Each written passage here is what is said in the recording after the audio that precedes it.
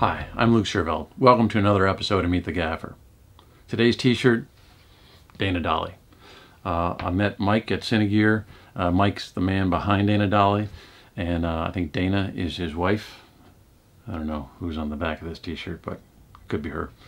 Anyway, uh, solid product, great guy. Last year, spoke with Brian Eustace at Cinegear 2017, and he kind of gave us the rundown of the Fresnel lines from Mole Richardson. So the the vari-color units, and uh, you know below baby, but baby, junior, senior, and then the Tener uh, unit, the, their their their biggest uh, head, was um, still only daylight or tungsten, and it had a pretty good sized ballast as well.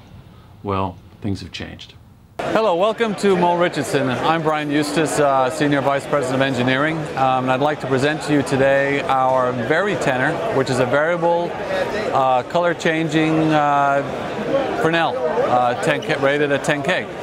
The actual wattage of it is actually 1600 watts, uh, and it draws about 14 amps, which means you can basically plug it into a standard uh, household circuit uh, under under 15 amps. Uh, it changes color temperature from 2700K to 6500K, and it also has a plus or minus green uh, adjustment, so you for, for very minor adjustments.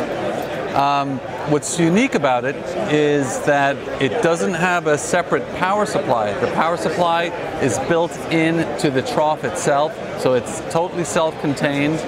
Um, I don't think there's a light this size on the market that doesn't have a, a, a, ballast or power supply, whatever you want to call it, which is separate with cables and that. So it's a compact as it can be for a, for a 10K equivalent uh, when I talk about 10K equivalent, that was in reference to tungsten, okay? You can see the size of it. It's pretty rugged, uh, built. Uh, it's basically, even though it's an LED, it's built in the same uh, mold tradition of where we built our lights very rugged with castings, uh, skid plates, you know, everything, you know, even the, the, the, barn door clips are cast. So we haven't gone away from our uh, construction of even our older lights. So that, that's a great benefit whether you're using on the set or if you're a rental company renting them. A lot of the LEDs today are designed not to withstand the, the rough and tumble of uh, rental. It has uh, a unique operating system, which is also designed by Mole.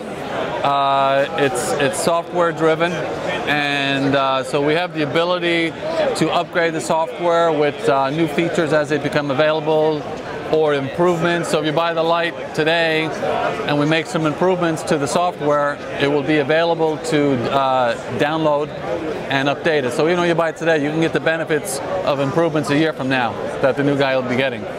Uh, it has multiple communication systems. It has the standard wired DMX. It has Lumen Radio uh, DMX, which is wireless uh, DMX. It has Bluetooth.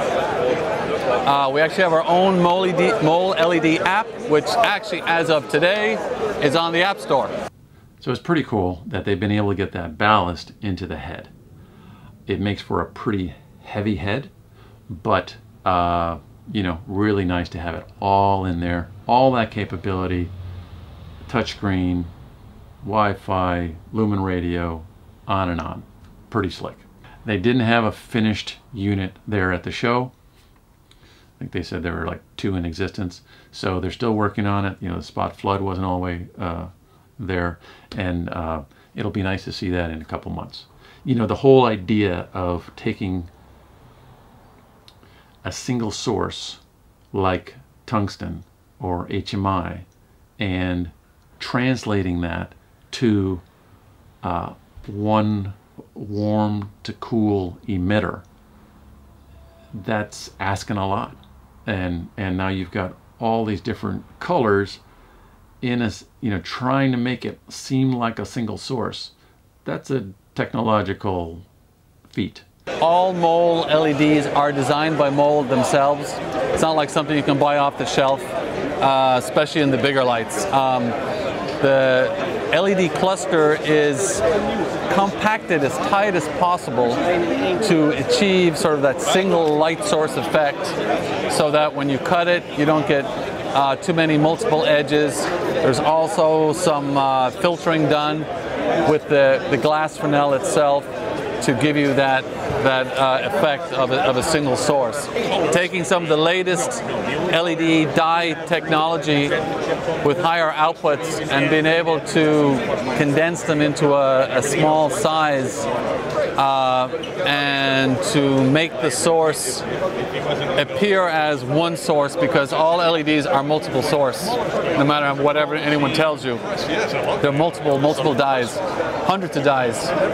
And to make that appear as one light source uh, is very challenging and it involves uh, filtering to sort of merge the, the light streams together. Uh, it involves uh, little tricks of the trade, which I'm probably not going to disclose today, but uh, things, things that we've learned over the years uh, with the LEDs. And um, you can uh, talk to a lot of the rental companies that have our current 10K single sources. I think we're probably the only 10K light that it appears as a single source, and, of, and um, that's why they, that's why they like it. Yeah, looking forward to seeing the, the quality of, of that unit through a Fresnel, you know, a nice cuttable light uh, with an amazing amount of output and some you can just plug into the wall. The list price on this light is in the range of uh, 17 to 18 thousand dollars list. So that that translates whatever you know dealer you're working with and whatever discount. Uh, most people are familiar with their discount structures. It's a little more than the single color. Uh, not much more, but there is a, is a little bit of premium because you're getting basically two lights in one. You're getting a daylight and a tungsten or a 4000K, which are probably the three most uh, popular colors that are going to be used out there. And, uh, and green magenta. Yeah, and the green magenta. Uh, availability on this is uh, roughly about two to three months from now. About uh, late summer is, is, is, is the plan uh, to get it into production, and um, we hope to hit those dates. So across the aisle from Mole Richardson was a company called Visionsmith, and they make uh, retrofit emitters that go into existing ARRI or Mole Fresnels, maybe other units as well. But uh, and they have it, you know, pretty small up to, and I'm not quite sure, they're at least 2K, maybe more. They had a a housing there was that was like a T5 housing, but I don't think it was a 5K uh, emitter in there. Um, but that too, you know, they're they're bringing that sort of single source idea to the Fresnel, and um, and that's that's a worthy uh, goal. I don't know much about the company. Uh, we've been invited. Uh, John Behrens, uh, director of photography, and myself been invited to visit them uh, north of San Francisco where, where they're based. And so that might be a, a little uh, field trip uh, in the future.